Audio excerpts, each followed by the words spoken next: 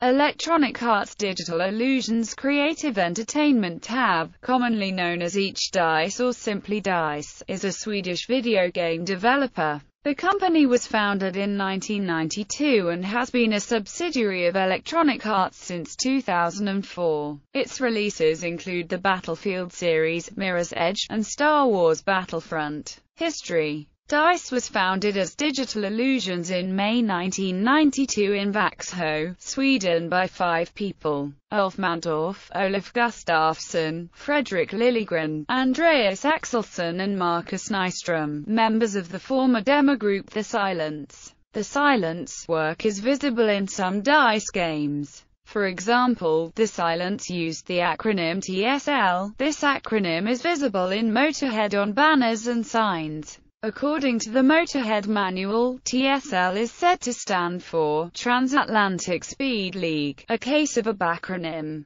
For an extended period of time, while the employees were also students at Växjö University, the company's office consisted of a small dorm room. During those days the company developed popular pinball games for the Amiga computers, such as Pinball Dreams, Pinball Fantasies and Pinball Illusions. The company moved to Gothenburg in 1994 where it was headquartered until 2005, when that office was merged with the X-Refraction Games office in Stockholm. In 1998, the company was registered on the Swedish Stock Exchange. Although codename Eagle received a small cult following, the biggest break for DICE was the release of Battlefield 1942 and its sequels and expansions. The Battlefield series jump-started their popularity. In 2004, the total value of the company was estimated at approximately $55 million.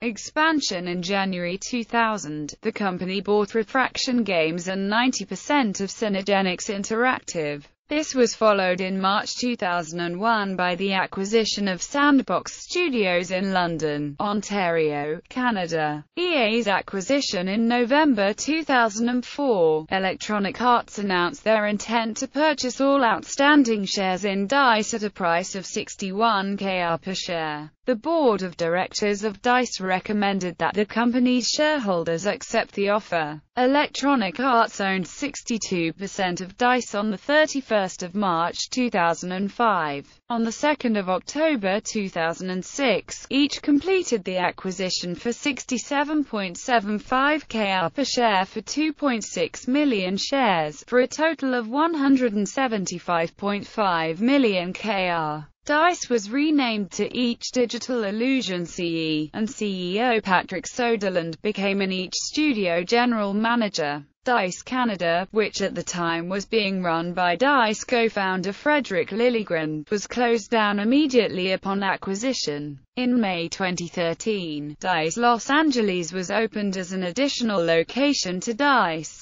It was formed some time after the dissolution of EA's former subsidiary Danger Close Games, also known before as EA Los Angeles, as a consequence of the commercial failure of Medal of Honor Warfighter. Several Danger Close employees were transferred to the new studio, while the leadership team including studio manager Fredrik Loving moved from Stockholm. DICE Los Angeles had cooperated with DICE Stockholm in the development of Battlefield 4. The LA studio is also working on unannounced projects built on the Frostbite 3 engine. In May 2013, DICE general manager Carl Magnus Troedsson said in an interview, There is an extreme talent pool over that we want a part of games developed